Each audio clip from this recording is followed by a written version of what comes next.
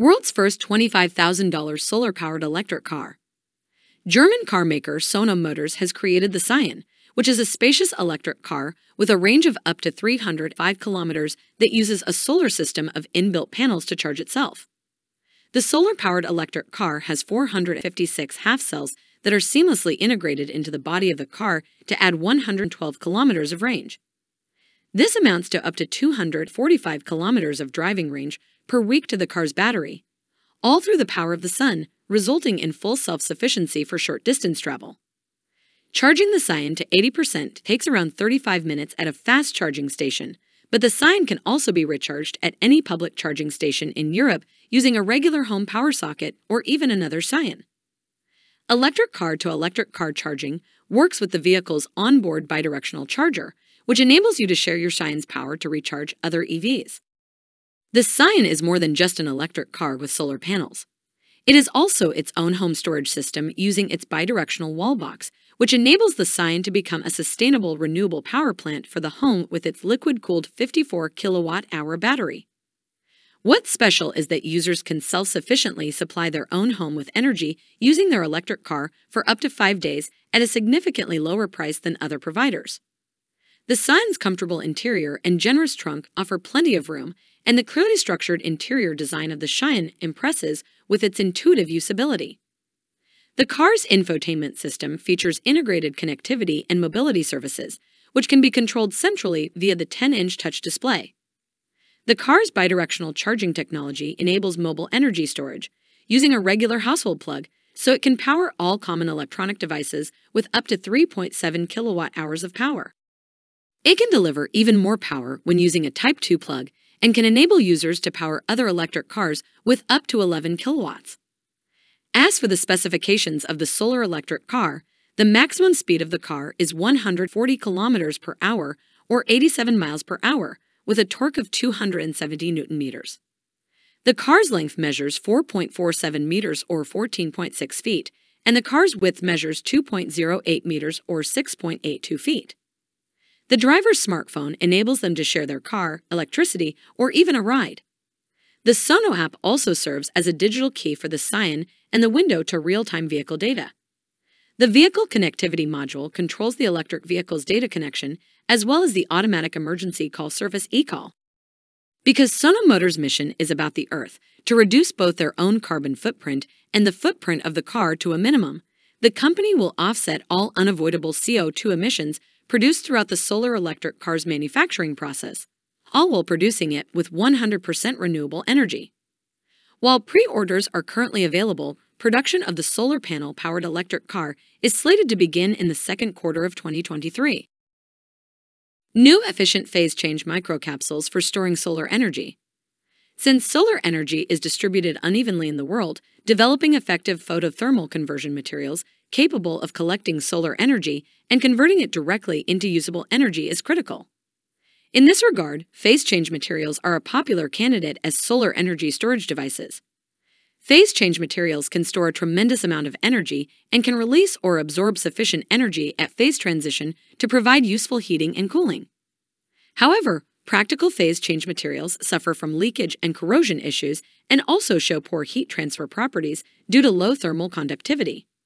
While this can be solved by using metal phase change materials, it makes them costlier and bulkier. Studies have shown encapsulating the phase change materials in microcapsules with high conductivity fillers, such as nanoparticles, could solve these issues. This can protect them from the damaging effects of light, heat, moisture, and oxygen, as well as improve their heat transfer properties.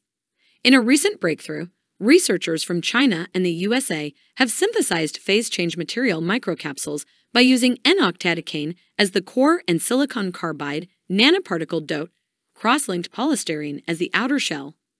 In the study, the team prepared a series of four microcapsules using suspension polymerization. Silicon carbide nanoparticles were employed to modify the shell to improve the heat transfer and photothermal conversion of the microcapsules. They then characterized the microcapsules using scanning electron microscopy energy dispersive X ray spectroscopy, and Fourier transforms infrared spectroscopy. The results were that the microcapsules were spherical and the nanosilicon carbide particles were embedded in the cross linked polystyrene shells, aiding the heat transfer and photothermal conversion efficiency of the microcapsules. Researchers then tested the thermal properties of the microcapsules and found that they showed superior photothermal conversion and thermal conductivity compared to the non doped samples.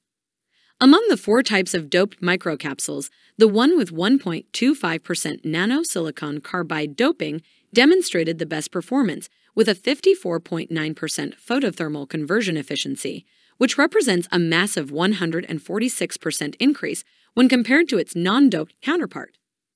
The study opens new doors to the practical application of multifunctional phase change microcapsules. These microcapsules can have significant potential applications as energy storage materials in solar energy devices, intelligent thermal insulation equipment, and energy saving buildings. New record for dye sensitized solar cells. In dye sensitized solar cells, photosensitizers are attached to the surface of nanocrystalline mesoporous titanium dioxide films that are imbibed with redox active electrolytes or a solid charge transport material. This design aims to generate electric power by moving electrons from the photosensitizer towards an electrical output like a device or a storage unit. Dye sensitized solar cells are transparent, can be fabricated in multiple colors for low cost, and are already being used in skylights, greenhouses, and glass. In addition, lightweight flexible versions of DSCs are now commercially sold on a large scale for electrical powering of portable electronic devices such as earphones and e readers, as well as in the Internet of Things by using ambient light. Recent advancements in photosensitizers and other components have improved the performance of dye sensitized solar cells under both solar sunlight and ambient light conditions. Now, scientists from the groups of Gratzel and Anders Hagfeldt at EPFL have developed a way of improving the packing of two newly designed photosensitizer dye molecules to enhance the DSC's photovoltaic performance. Together, the new photosensitizers can harvest light quantitatively across the entire visible domain.